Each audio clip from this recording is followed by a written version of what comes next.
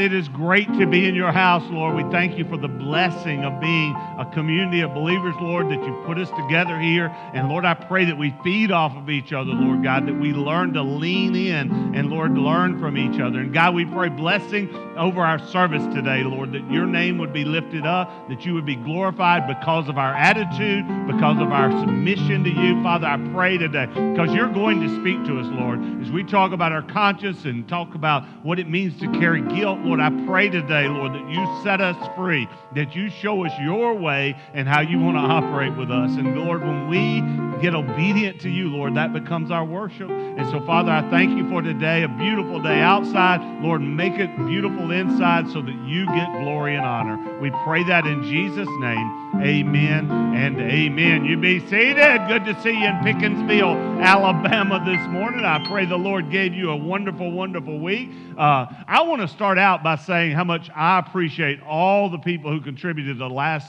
Sunday's service. It was wonderful, okay? I even had my boss, who's our, uh, well, he's a higher, not my immediate boss, but our VP of sales for the entire nation. And uh, he said, I was watching, he says, for a church of your size, the music power is just amazing. So I thank all of you for, for that contributed to that, and all of you who contributed by being here. And it was just a great Sunday, was it not? If you missed it, you ought to go back. We have them uh, recorded. They're on a YouTube channel, and go back and look at it. it it's great. So thank you for all those things. Don't have much to announce this morning. I do want to tell you if you missed your opportunity to give to Annie Armstrong, you can continue. You can still do that. But also uh, this Wednesday night, we we've been studying the book of Ephesians on Wednesday night. We talked to the men last week, so the men, you need to bring your wife this week. Okay? Uh, we are studying the book of Ephesians. We eat. We do uh, catered dinner. So, so I hope that you'll sign up. There's a sign sheet. Get your name up. Some of you haven't been. I hope that you'll come and be a part of that. Okay. That's all I've got for announcements. I like to recognize birthdays. Anybody had a birthday? I know we've had a couple of birthdays. I know of them. Come on. Yeah. Come on. What about? Come on. Come on. Stand up. We're going to say happy birthday to them, okay? Happy birthday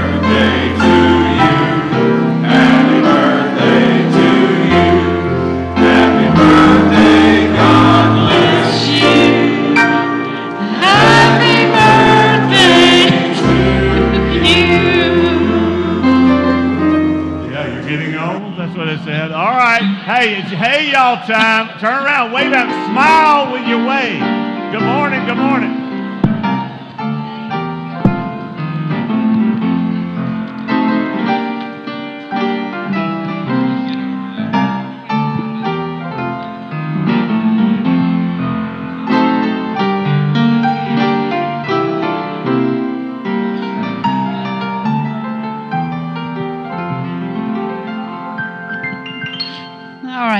Continue singing this morning with I Stand Amazed in the Presence.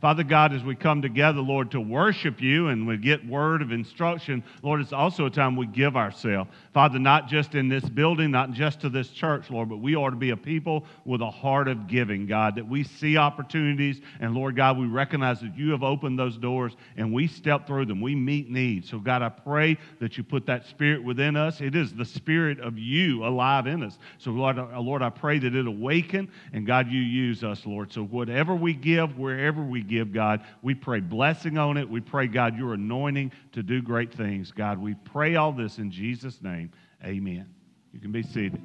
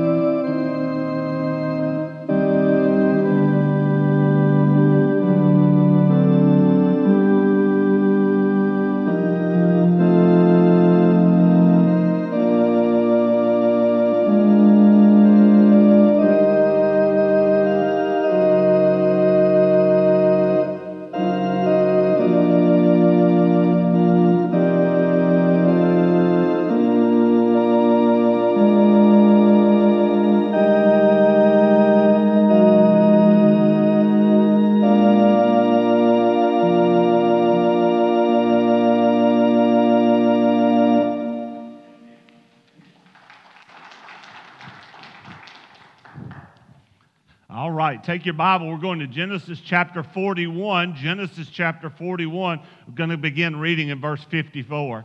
Now, some of you already have some of these notes filled out if you kept your old sheet, because we are returning to this sermon titled uh, The Resurrection of a Dead Conscience, because your preacher couldn't get through last time.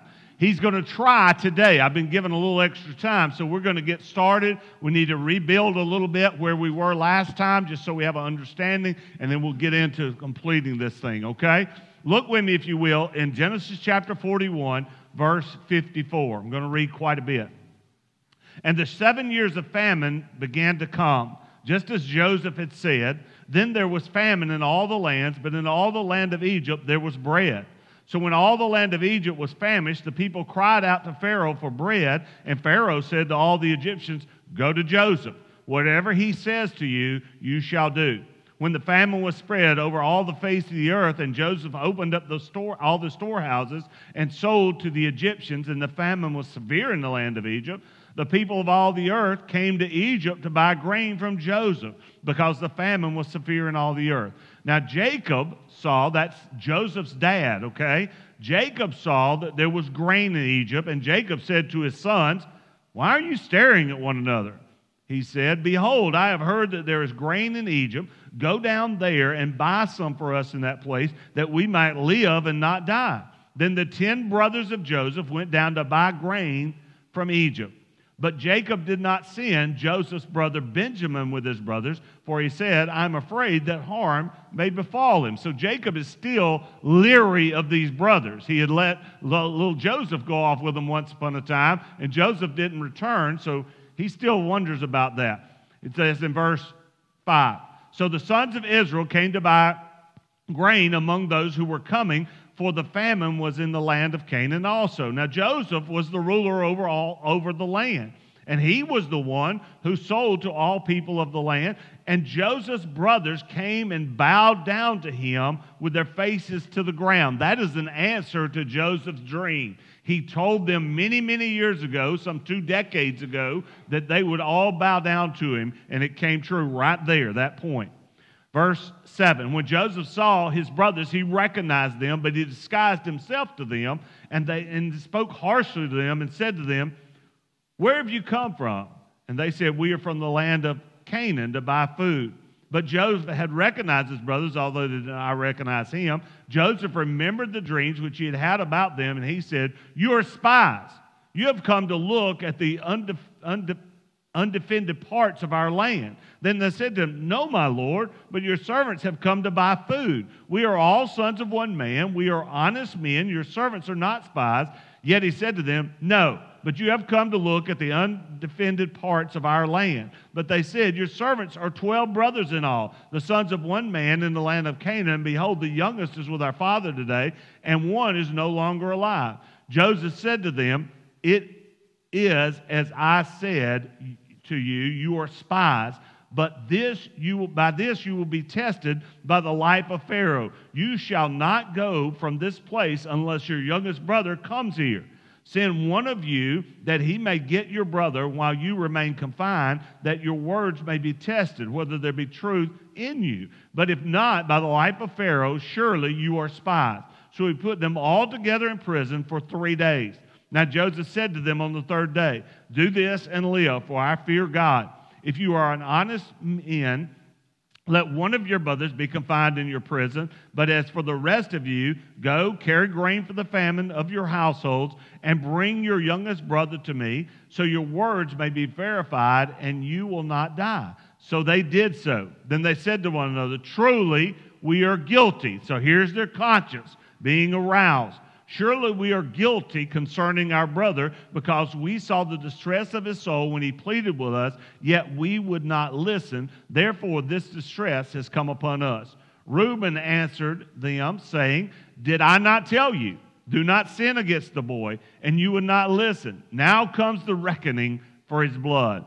They did not know, however, that Joseph understood, for there's an interpreter between them. This is part of the facade. Joseph has his interpreter standing there because he wanted to make sure that they saw him as legitimately an Egyptian. So he's got an interpreter standing there, but he hears and understands everything they're saying. It says now, verse 24 He turned away from them and wept, but he returned to them and spoke to them. He took Simeon from them and bound him before their eyes. Then Joseph gave orders to fill their bags with grain and to restore every man's money in his sack and to give them provisions for the journey, and thus it was done for them. So they loaded up their donkeys with the grain and departed from there. As one of them opened his sack to give his donkey fodder at the lodging place, he saw his money.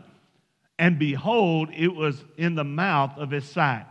Then he said to his brothers, My money has been returned, and behold, it is even in my sack. And their hearts sank, and they turned trembling on one another, saying, What is this that God has done to us?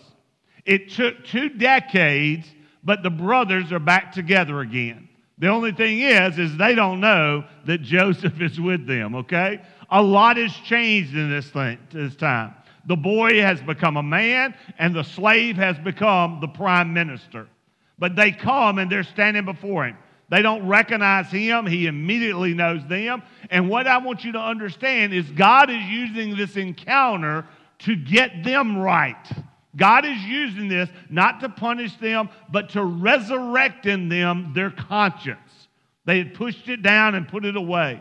Therefore, I call it the resurrection of a dead conscience. We talked last time about how the conscience is seared. We're going to talk about that again today. We talked about how it is stirred.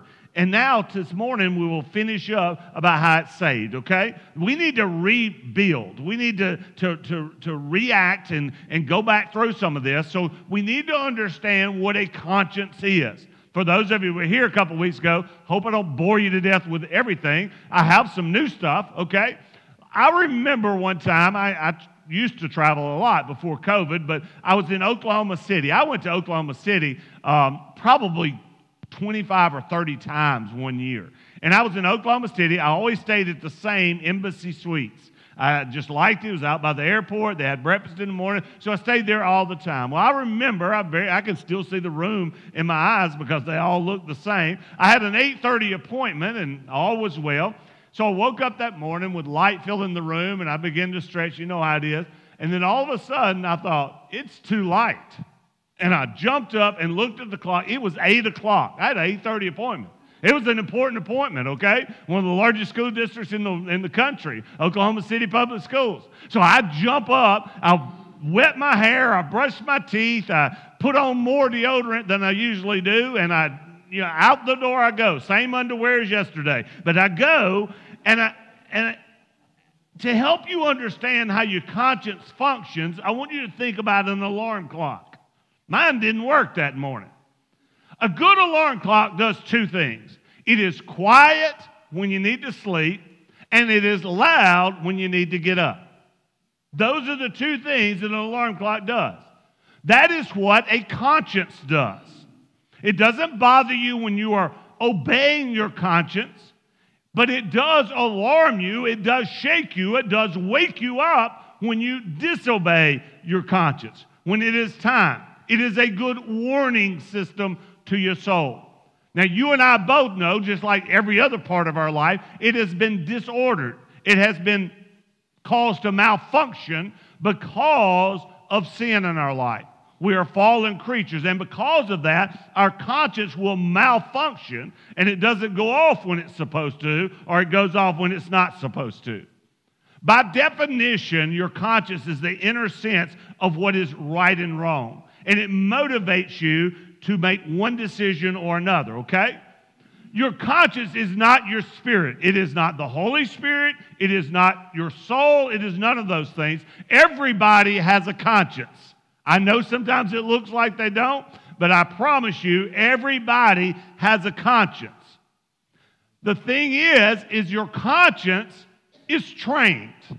You train your conscience to respond based on your experience, based on what you feed it, all of those things. So your conscience rewards you when you obey it. So if you do what is, you believe is right, what you have intrinsically taught yourself to believe, then it gives you peace and it makes you feel good about yourself. If you dishonor it and you go against it, it brings guilt on you. It punishes you. So the idea is, is that your conscience is not a reliable guide all the time. Why? Because it can be seared. It can be trained to think wrongly. I read a quote and I'm going to read it again. John MacArthur says this The conscience, however, is not infallible, nor is it the source of revelation about right and wrong. Its role is not to teach us moral and ethical ideals, but to hold us accountable for the high standard of right and wrong that we know. That we know. I told you everybody has a conscience. You say, well, then how come people do these atrocious things? How come people treat others so badly? How come they just make poor decisions about themselves? How can that be if they have a conscience? Because consciences are trained. If you believe in the Bible and you believe that the Word of God is the instruction, you believe in the Holy Spirit, so you apply those moral principles, you train your conscience to react to that. But if you believe that Hinduism is right or any other uh, Mormonism or, or Hinduism, any of the other isms out there, if you believe those are right, then you react to those. If your conscience is taught that cursing and living wickedly and having no affiliation with religion is, is, is right, then that is your right. That is your compass. You get the idea? Say, I do. All right? You're not married, but just say, I do, okay? To apply it to Joseph's story, let's talk about how the conscience is seared. How the conscience is seared. They are guilty. Let's get that out there. They are guilty of wanting to get rid of their brother. They are guilty of wanting to sell him. They are guilty of wanting to murder him. So there's a lot of guilt to go around. And in that, they create this, this false narrative to their father. They go to their dad, they take Joseph's coat, they put an animal's blood on it, and say, We found this. I guess he got, as we would say in the South, something done ate him up. Something jumped on him, and, and, and all of this, and when they, when they lied to themselves, that's one thing. But you know they had to feel some remorse as their brother was taken away. We just read that they said, We did not listen to him. Surely that pulled on them because it's being resurrected. So those feelings were there earlier. But the one that really gets me and how badly we can sear our conscience is that they lied to their dad. They brought that false narrative to their dad and they watched him suffer for all those years. But as time does, time began to dull that guilt. And time began to, to, to lessen the remorse that they felt. How is that possible? Because these brothers have seared their consciences. Searing is like, like a burning or a scar or whatever you have. It deadens the nerve endings, and you can do that to your conscience. The Bible tells us that, that people sear their own conscience as with a branding iron about the things of God. We used this story to illustrate last week, and I'm going to I'm gonna do it again. The Avivia, Avian, Avianca Airlines, Avianca Airlines, I'll get it right, a Spanish airline. How about that, okay? In 1984 crashed dead into the side of a mountain. They went up and they got all of the materials. You know how they do. They found the black box and they listened to the recording. And they heard the recording of an English speaking recording, a lady's voice saying, Pull up, pull up, pull up. And they heard the Spanish speaking pilot mumbling things and talking to things. And after a few minutes, pull up, pull up. What does he say? What, is the, what does the guy say? Shut up, gringo. And he turned the switch off, and soon they crashed headfirst into a mountainside. Shut up, gringo. There are times in your life where your conscience is saying, pull up, pull up. What do you do with that? If we heed that voice and we pull up, all is well. If we don't heed that voice and we do as we please, we have begun to sear our conscience, and the outcome of that can be devastating. The next time the voice of your conscience tells you to pull up, it won't be as loud because you ignored it the last time. And the next time it says to pull up, it will be fainter yet. So the idea is that we train our conscience. There is a flip side. I didn't get into this a lot last week. There's a flip side to a dead conscience, a seared conscience. And you know what that is? Is an overreactive conscience. Some people, Romans chapter chapters 14 and 15 talk about this. People who are raised in a in a uh, an atmosphere of legalism and Lord knows we live in the South and are, there's plenty of that to go around. But there is, there, there's an idea that we are taught that everything's wrong. Have you ever felt that? Well, the church thinks everything's wrong. Well, that is an overactive conscience. And it is what's called being raised by tradition. Being raised by tradition, rather than what the truth of the Word of God says. So understand that there can be an overaction that you are feeling guilty about things that are really not sin. but yet you have trained your conscience in that way. There are people who are, have a great conscience. They, they know that they have freedom in Christ, that they are free to do things and they are, they are comfortable with that. But your challenge is that there will be people around you that could be harmed by the things that you do. And the Bible tells us that we need to be considerate of our brothers and all those things. So is this making sense to you? The, I just want you to understand about your conscience and that it can be seared, it can be overacted, but the main thing is is that it is trainable. It is trainable. So how is the conscience stirred? We got into this last week. The brothers of Joseph allowed their hearts to become hard. They seared their conscience.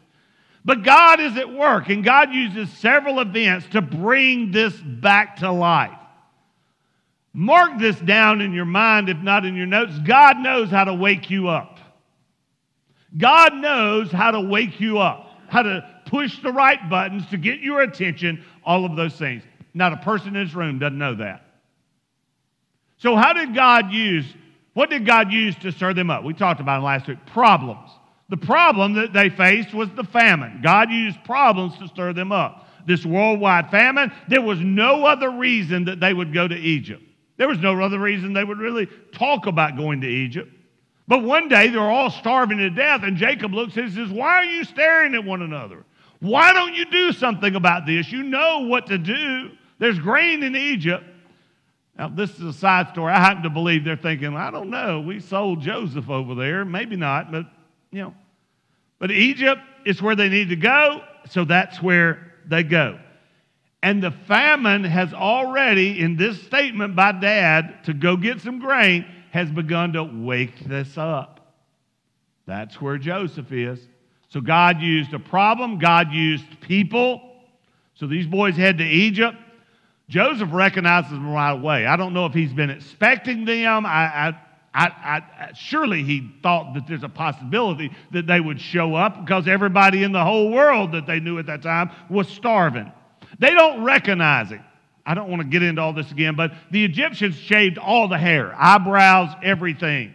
The Hebrews would wear a beard, all those things. So here is Joseph. It's been 21 years, and he stands before them. They also wore short skirt skirts. I don't know what it is. While the Hebrews wore long, so he looks totally different. It is not surprising that they wouldn't recognize him, and surely he recognizes them.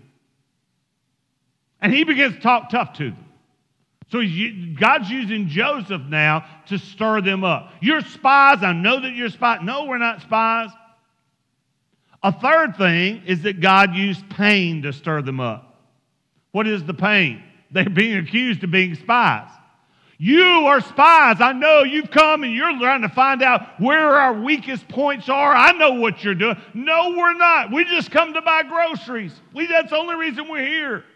No, I know that you're spies. No, we're from Canaan. We're a family of 12 brothers, and our youngest brother's at home. One of our brothers is dead. I wonder how that felt to Joseph when he heard that. And he says at first, I'm going to I'm going to keep you boys in prison, send one of you back, but then he changes his mind and he keeps one in prison, sends them all back. Joseph throws him in jail. God will get your attention. These men never thought of seeing Joseph again. That is not there. But what is there is the guilt of the way that they treated him before. Their conscience that has been dead is all of a sudden alive. It is alive and well. The famine drives them to Egypt. They are now right where God wants them. If you belong to the Lord, you need to understand that God's not going to allow you to wallow in your sin. He is not going to allow you to stay off of His course. He is going to work in your life.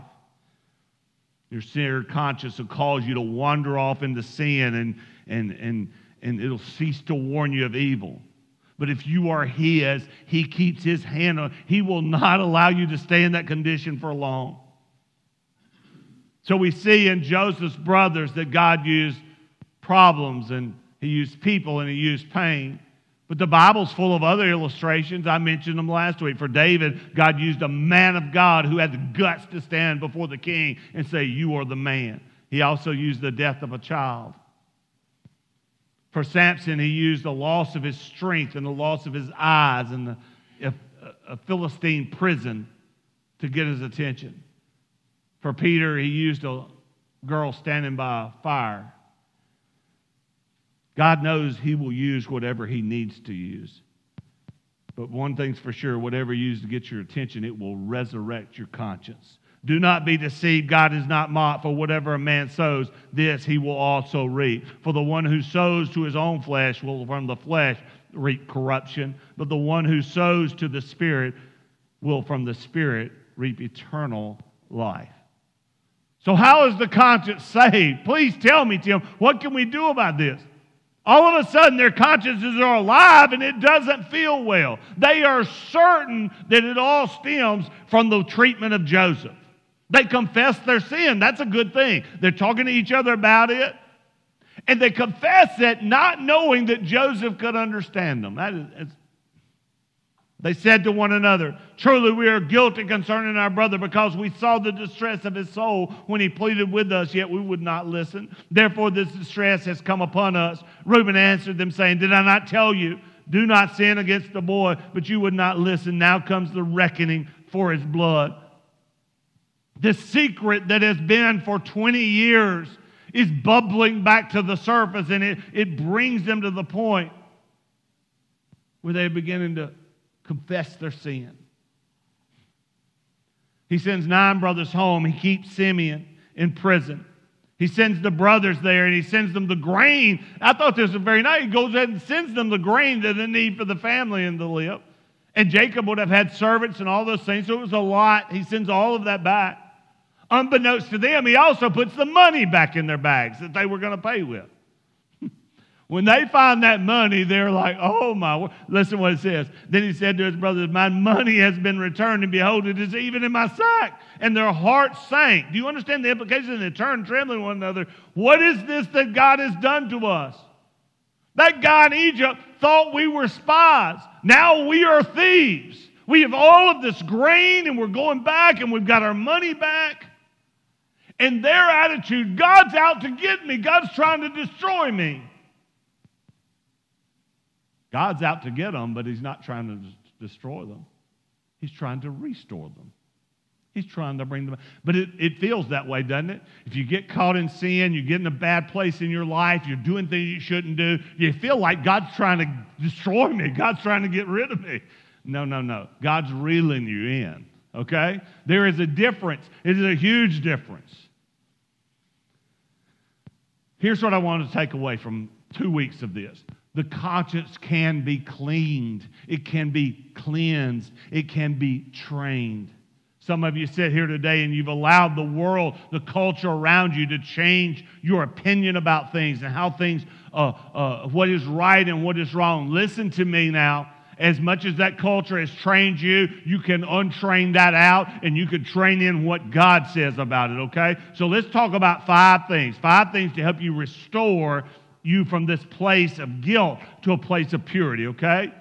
Number one, we've already talked about it. Confess and forsake all known sin. Confess and forsake all known sin. In 1 John chapter 1 and verse 8, you know, it, it, it tells us there that, that we will all sin from time to time. If, if you say you have no sin, you are a liar, right? But packed right between verses 8 and 10, which tell us that we're going to sin, is this verse, a, a, a word of, of, of pastoral instruction. If we confess our sins, he is faithful and just to forgive us our sins and to cleanse us from all unrighteousness. See, when we sin, God does not require that we offer a sacrifice. He doesn't require that you do something new. There has been a sacrifice, and it was perfect. He has taken the blood of Jesus Christ and applied it to you. If you are saved here today, you need to understand this. When you sin, it does not remove the cleansing work of Jesus Christ. You say, well, Tim, that means people can go live like they want to. Yes, that's right. We live like we want to. And if you're a child of God, truly a child of God, you will want to live in honor of Him. Okay? So, yes, it does let you live like you want to live. The problem is, is that at times our want to gets messed up, right? We're sinful creatures. But if we're faithful, we confess that and get it clean, He takes care of it. So you say, well, what's the big deal about confessing then? Because confessing the sins, if I'm already covered, I'm already saved, why do that? Because it disrupts your relationship with God. It disrupts your fellowship with your fellow, uh, with fellow believers around you. So we confess. Confess means that I acknowledge, God, you are right, that I agree, that I admit I am doing this and it is wrong and it is hurting me. God, forgive me. You don't say, I goofed, I messed up. A better term is, I missed the mark.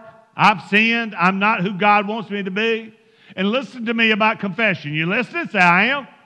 Confession needs to be specific. Don't pray them little kid prayers when you lay down, God forgive me for all my sins. You didn't, you didn't commit them like that. You committed them one at a time, and they had names when you committed them. And guess what? They need to have a name when you confess them. So if you lied to somebody, you need to get right with God. You were dishonest in some way, treated somebody poorly, you need to say, God, I'm a liar. I'm a liar. I confess that before you. If you lusted in your heart after somebody, don't say, oh, don't try to shake it up. Say, God, I committed adultery, spiritual adultery in my heart. I let my eye wander. You slander against another person. You gossip against them. You name those things. Say, God, I have a murderous heart. You name them. We don't recite prayers over them. It's not a, a, mon- a, monotonous, legalistic thing that we do. We had passion when we sin. We should confess with passion. God, this is wrong. It is wrong. It is our tendency to downplay sin, is it not? Don't, you don't have to answer me. Yeah, we downplay sin. And what we do is that we think that somehow what it does is it makes our confessions weak and pathetic because we don't, we don't feel the power and the implication of sin. We need to elevate our vision of sin. Sin is wrong, it is terrible, and we need it. So when we downplay it, our conscience has a hard time resting. It nags at you. Deal with your sins God's way, and that is confession. That's what Joseph's brothers did. We are, we are being, we this is happening because of the way we treated our brother the Bible tells you, he who conceals his transgressions will not prosper, but he who confesses and forsakes them will find compassion. We got to keep moving, or it won't get done again. The next two go together. So I'm going to let's do it. Number two is I need to seek forgiveness and make things right for all those you may have wronged. To be right with God, you got to be right with other folks, okay? Let me give you a couple verses and then we'll move to the next one. Matthew 5, 22, 23 and 24. Therefore, if you are presenting your offering at the altar, if you are coming to worship, and remember that your brother has something against you, leave your offering there before the altar and go. First be reconciled to your brother and then come and present your offering. Do you not think that it is a big deal when you are not right with somebody that you need to get it right? God says that your worship is interrupted when you are not right with your brother or sister.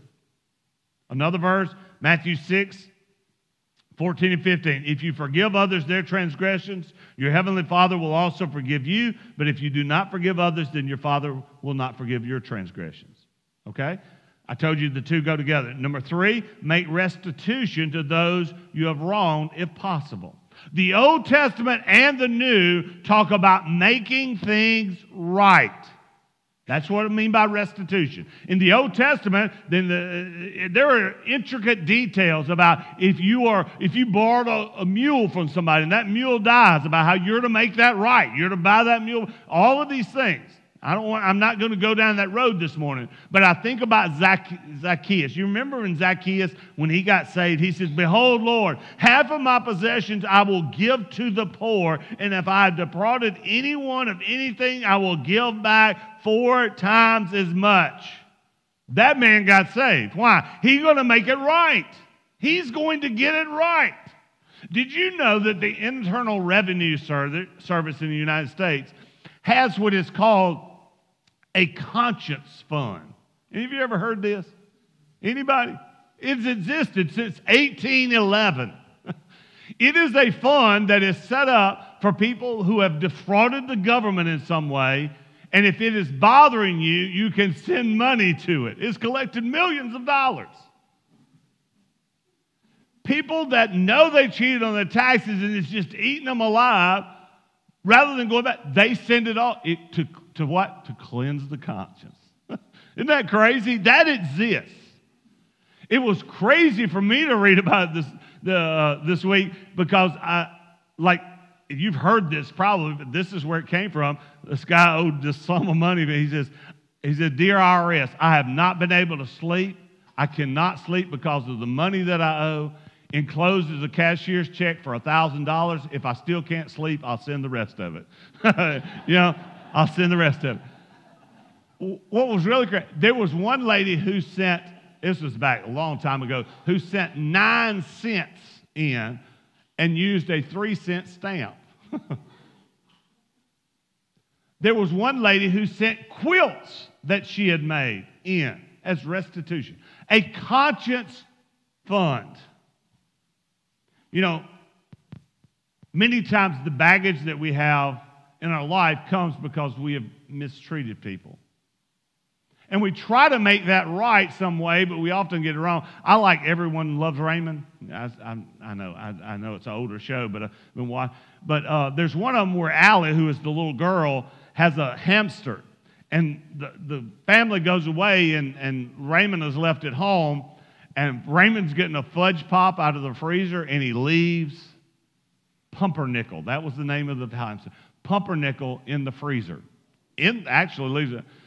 Um, well, when they find it, that he's looking for it, all these crazy things, he's retracking, and anyway, Robert, his brother's there when he finds it. It was great. It was hilarious. But anyway, I digress. So Raymond's going to fix this. How do you think he fixed it? Get a new one. That's right. We're not to the point where we can freeze them and bring them back yet. So he gets a new one, all right? Did it work? No. Allie did not. Immediately, Allie recognized. I, I, thought about that. That's a common theme a lot of times in, sitcoms. Somebody's watching the goldfish, they forget to feed it, it dies, so they go get another one. The cat or the dog runs away, so they try to replace it. Do they apologize? No, they don't apologize. They try to sneak in a new one. They try to do it their way. You know that the biblical admonition is yes, we do restore. Yes, we do make it right. But we don't try to hide it. We tell them about it. We are totally honest about it. We get it all out on the table where everybody can see. We don't try to pull a switcheroo. What is this based in? It is based in the very character of God, that God is a God of justice. And as a God of justice, He wants to see things made right. When we hurt people, we need to make it right. That will help clean your conscience. Making things right works because that's God's way. That's God's way. Number four, this is about the timing. Don't wait to cleanse a wounded conscience. Don't wait to cleanse a wounded conscience. You know, the worst stains that you can have, I'm the world's worst about dropping stuff on my shirts. You know, I make the joke all the time. It used to hit me in the lap, now it hits my belly. Um, but the worst stains are the ones that are left unattended, that you don't do anything, you throw it in dirty clothes, it sits there for days or whatever. I've read an interesting story about Sergeant Ray Bors. Baarz, I think it is. Baarz, B A A R Z. Baarz. Sergeant Baarz of the uh, Midvale, Utah Police Department. He one day opened up his billfold. He was doing something. He pulled out his driver's license and looked at it for some reason, and it had expired. You know what he did? He took out his ticket book and he wrote himself a citation. He said, I mean, they said, why did you do that? He said, how can I, at any time in the future, write somebody a citation for an expired driver's license when I was doing the same thing? I love the fact that he took care of it immediately. immediately. Deal with your guilt immediately. If you allow it to remain, then festers in your spiritual life. It begins to impact you. Not only will it deteriorate your spiritual life, it'll cause depression and anxiety and emotional problems. It'll affect you when you don't take care of things. And it will remain as long as the guilt is not came. So get it right fast, okay? And number five, here's a big one educate your conscience. I've been telling you for two weeks now, you can train your conscience. I'm telling you right now to train it in the things of God. It's important to study your Bible. It's important to pray. Listen to me. You don't take advantage of this enough. I know you don't. It is important to talk to mature believers, to talk to them about things that you're dealing with, to get it out there. Because I promise you, there are, there are two things here. There, there are things that you, your conscience is allowing you to do it, when I say it's allowing you to do it, when you do them, there's no guilt. And there should be. It is sin, and you're not right in that. You have trained your conscience wrongly, therefore, it's giving you false readings. You need to be more careful with your conscience because I guarantee you this the Bible is very careful in its way of explaining things.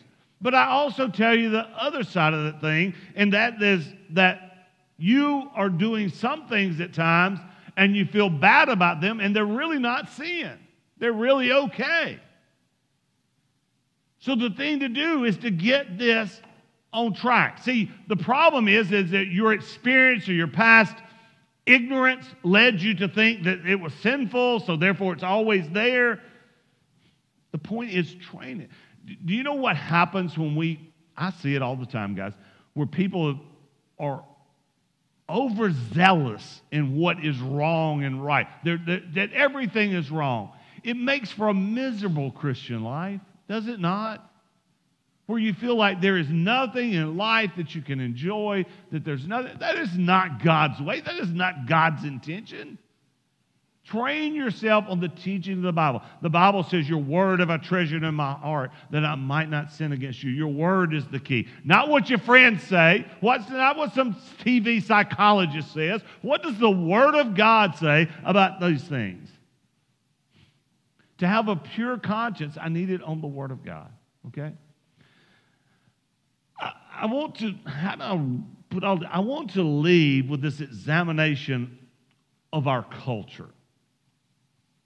Because I do think that every one of us in this room, every one of us, I'll start right here where I stand, have allowed our conscience to be seared to some level.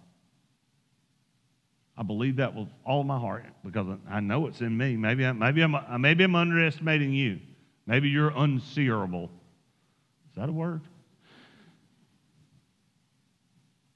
It's amazing to consider our culture right now because we are enslaved to sex, we are numb to violence, and we are just literally terminally consumed with ourselves.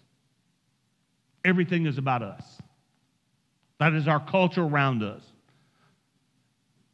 And our culture has declared war on guilt. We have said, oh, you should never feel guilty about anything. That's old timey, that's medieval to have that kind of idea. It's unproductive, it's all of these things.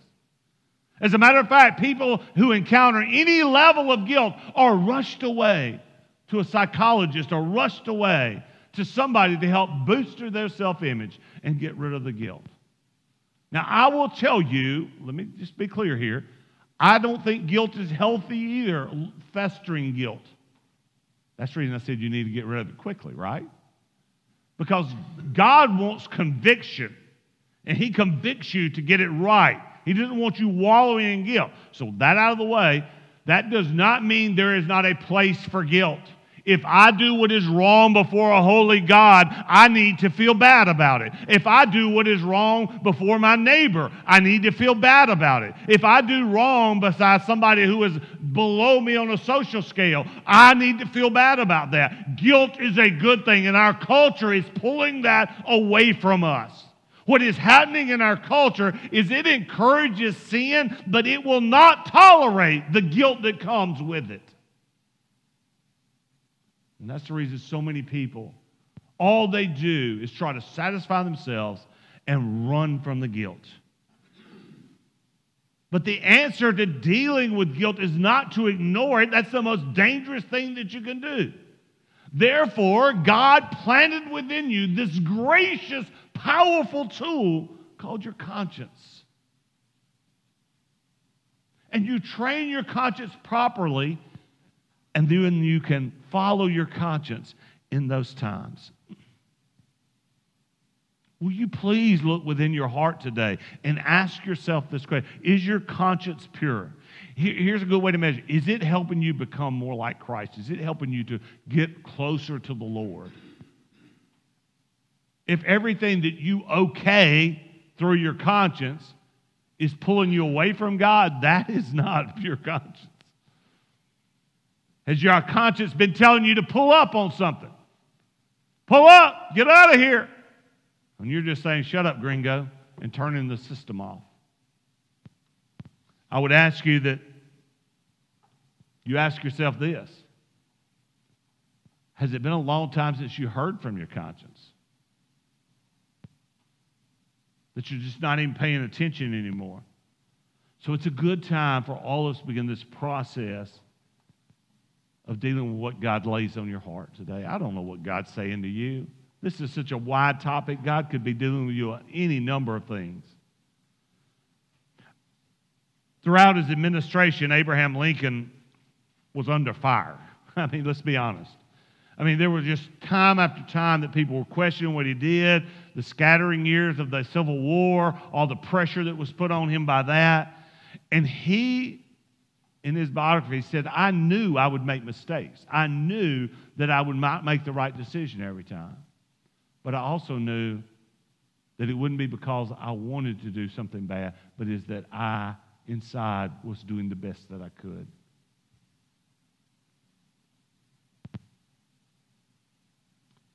He resolved to never compromise his integrity. And it was so strong. Listen to this, okay? I desire so to conduct the affairs of this administration that at the end, when I come to lay down the reins of power, if I have lost every other friend on earth, I shall at least have one friend left, and that friend shall be down inside of me. Do You know what the reward of a clear conscience is? Of a trained, clear conscience? It is the reward of peace. That I have peace with others that I have peace with God, and that I have peace with myself. Our culture is full of people that just don't like themselves. That's not a teaching of the Bible. So, the way that I deal with that is that I live my life with integrity, keep my conscience wary, and listen to it when the alarm goes off. That couldn't have been any better timing. Deep, deep. I want you to bow your head, okay? I'm going to start here, okay? Some of you sit here today and your conscience is on fire right now because you're not where you need to be before the Lord. Your conscience is eating at you if you're lost and you need to come and give your life to Jesus Christ. You need to do that today because come talk to me We'll never embarrass you. Others of you have something that you're dealing with in your life, and you're not, you're not giving that thing totally to the Lord. And today is the day that you need to get that right. All of us here today need to come before the Lord and say, God, Lord, help me with my conscience. I know that this culture, my environment, has, has dulled my senses. And Father, give me a heightened sense of awareness of your presence and what you want from me. God, we give you this time. Work in people's hearts, give them courage to move. God, I pray that we give ourselves to you. In Jesus' name. You stand. We're going to sing, guys.